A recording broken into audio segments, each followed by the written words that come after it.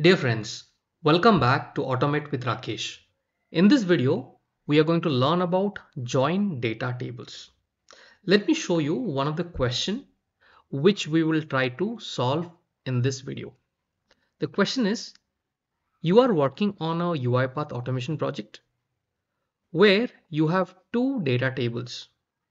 One is employee DT and the other one is department DT. Let's have a close look of the employee DT. The employee DT has got ID, name, department ID and salary. And the department ID has got the IDs and the department name. For example, here a name of uh, a employee is A and the department ID is 101. That means he is from IT department, right? C, employee C 102 means he is from HR 103 means he's from finance. So like that, there are two different tables. Your task is to perform a join operation using LINQ on these data tables based on the department ID column. So department ID column is your key. Based on this primary key or the department ID key, you will be joining both the data tables. Okay, based on the department ID column and create a new data table named output DT. So the output DT contains what? ID, name, department ID and salary, everything from the employee DT and only one column from the department DT which is department names. So now this is a complete table. Everybody can understand where which department this employee is from. So how to achieve this? Let's see on UiPath Studio. Let's move on. On my UiPath Studio, the very first requirement is to build a simple table on your Excel file. So on my sheet 5, I have my employee data table. And on the sheet 6, I have my department data table. Going back to UiPath Studio, here in the Excel process scope, I have used two different read range activities. One is reading from the sheet number 5 which is our employee DT and I'm storing that to a variable called employee DT. And I'm reading the sheet number six and storing that to a variable called department DT. Pretty simple. All right, let's minimize it. Now we have to get an output in output DT. So here I have created a variable called output DT and have initialized it. New data table. You can write new system.data.data table or new data table you can write the namespace or you can skip that. So here you can see I have initialized it. Fine. After this, we need the output in certain format. We saw that combination of both of it. So the very first activity what we will do, we will use build data table. What is the activity name? Build data table. In this data table, we have to store the output DT, the format of output, output DT we will First, uh, we have to create the format. Click on data table. So what are the columns your output DT will have? Remember before we proceed, remember all the column names. It's quite simple to remember ID, name, department ID and salary from the employee data and from, from the department DT, we have department ID and department name. So the final output should contain all this one, two, three, four column and from the sheet 6 it should contain the department name. So total 5 columns. Let's go back to the studio and start designing the interface of the output DT. For that let me remove everything and start changing the names. So the very first one from employee DT is ID, click OK. The second one we have is name. Ensure you are changing this value to string. Okay. Then we have our uh, DPT ID, department ID, which is a string. Okay, I'll keep everything a string to keep it simple. And then next is salary. Okay, and the next column that we need is department DPT name. Okay, so now we have created a structure. Click on OK and ensure ensure this build data table you are creating this variable output DT. You have to put this output DT variable. So now what happened? This output DT has got a structure. This is required. Once this structure is created, let's create the LINQ query. For that, let me have a assign activity. And the assign activity, this side I will write output DT and this side we will write the LINQ query. So let me click on this. Okay, now here you have to focus. It is pretty simple. Once you have get an understanding, you will be able to do it on your own. First, right now, focus what are the important points I'm going to cover. The very first thing, you take the name of your first data table, which is your employee data table. Okay, hit enter. And remember to write as enumerable. You're converting the data table to data rows. And then as you are using any method, you will use this method dot join. Clear? And parenthesis. Now the very first question I will ask you. Okay, you have written this. Now with which data table are you going to join? Employee data table is one. What is your second data table? You mention it within the parenthesis. Clear? Pretty simple. Now what is our second data table name? Department DT. Okay. The name of the second variable which is department DT. Now after okay you have written employee data table and you have written the second data table dot join second data table. Understood. Based on what condition? So the con condition is department id let me save this. So the, what is the condition? So the condition is both this table has got a common column called department id which has some values. And here also we have a department id which has some values. And there are meaning of it. So department ID is the column which is common in both the tables. So that is your condition based on which you would like to join. Now let's go back to UiPath Studio. And here let's continue the condition. So here I will put a comma. Okay, after that you have to write your condition.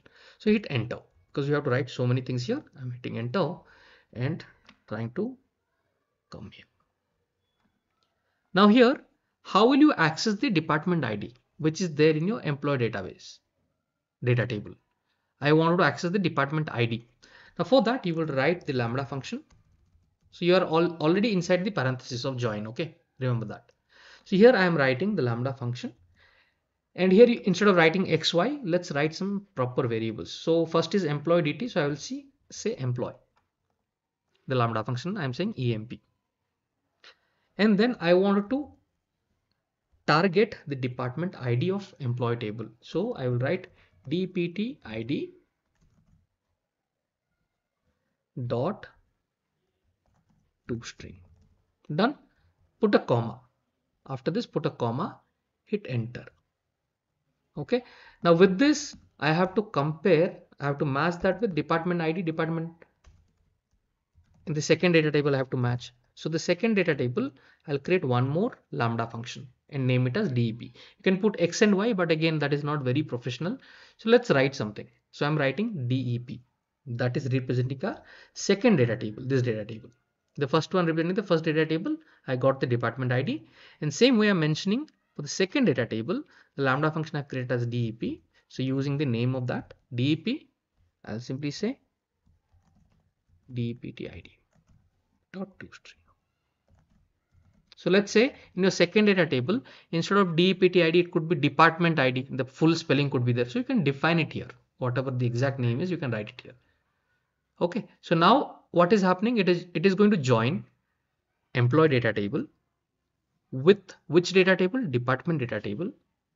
Based on what condition? Based on department ID of employee table and department ID of department table. Based on that, you do a join function. After that, put a comma. Now, when it is joining, when it joins, what happens? It creates, there are two different data tables actually, right? And at the end, you need four columns from the employee table and one column from the department table, right? So for that, we have to create a new object which is going to hold the columns of employee data table, what we need, and the columns of department table what we need. So for that, I'll create one more lambda function called function and I'm going to use these two functions here emp and dep okay? Em so that emp represents the first data table comma dep represents my second data table. So this is my function.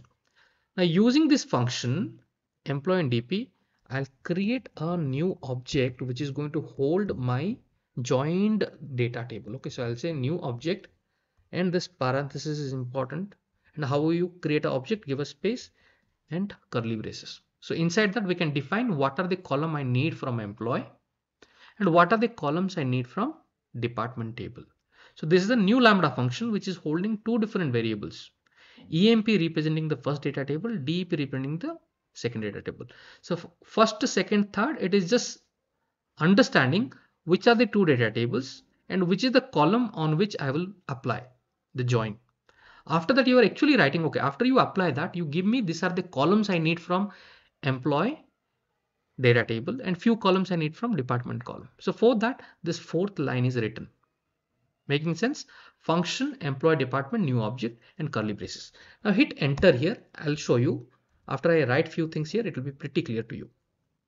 Okay. So the very first thing I will write within the curly braces I'm writing. Okay. First you give me from employee, you give me the ID column dot to string. Okay. Then I need, we'll just copy paste this. Okay. Several times. So whatever the columns you need as in your output, you can mention it here. And the second thing I need is the name column.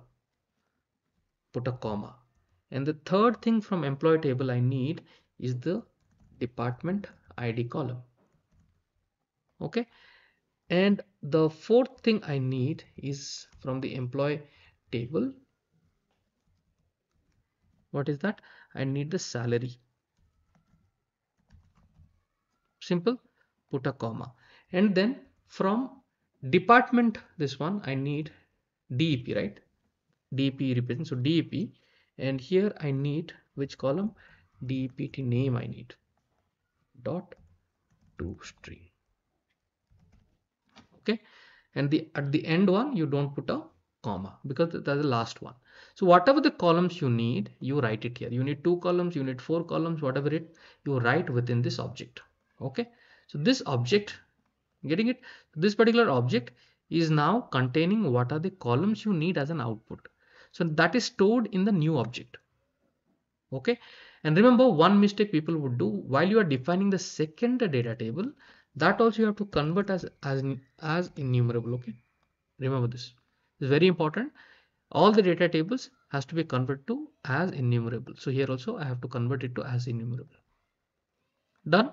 So once this is done, then I will use a select method and then within the select method I'll create a function called x the lambda function so this x now tell me this x is going to hold what this new object so it's going to so the final method what you are writing that would be the output your query output right?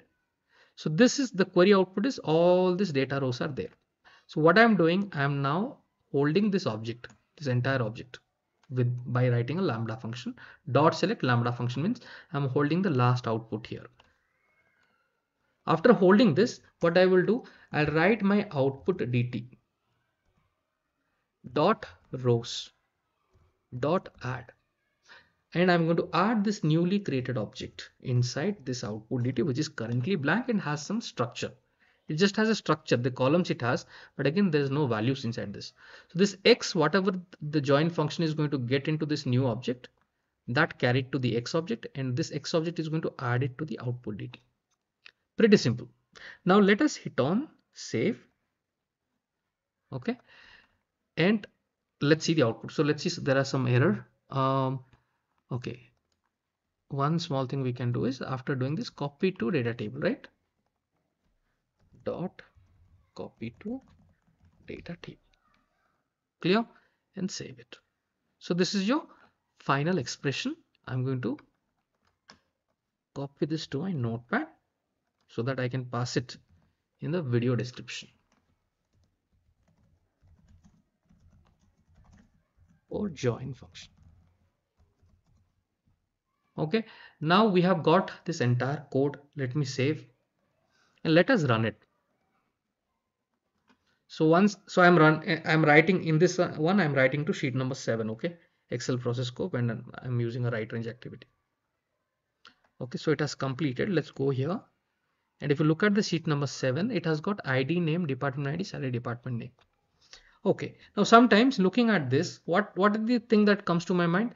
It will be better if i have this department name beside department id instead of in the e column let it be there in the d column and the salary be there in the e column.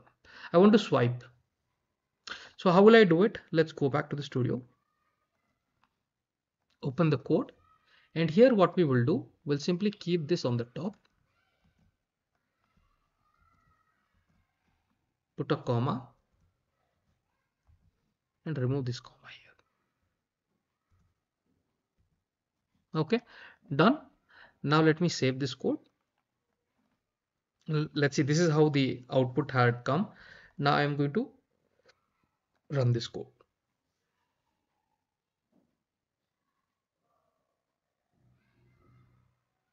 okay so the code has run if I go back sheet number 7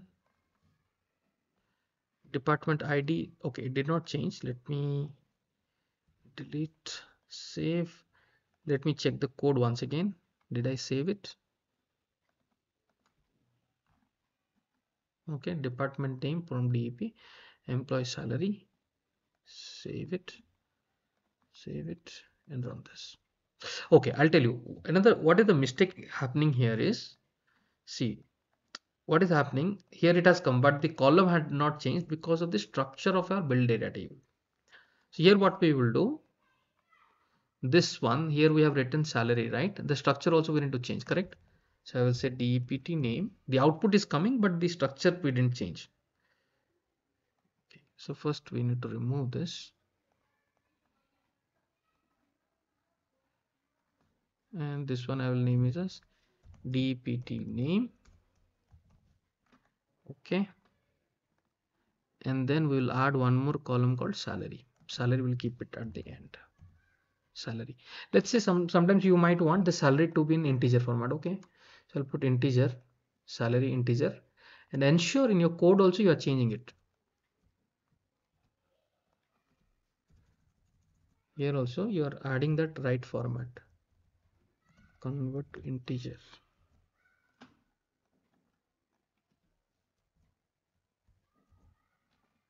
okay. So all the changes we have done is it fine? The structure of the output data table we have changed and also this one we have changed and we have made it to integer and the same thing we have made the changes. Now if i run this again now let me delete everything. It'll anyways it should override. Let me save and run it.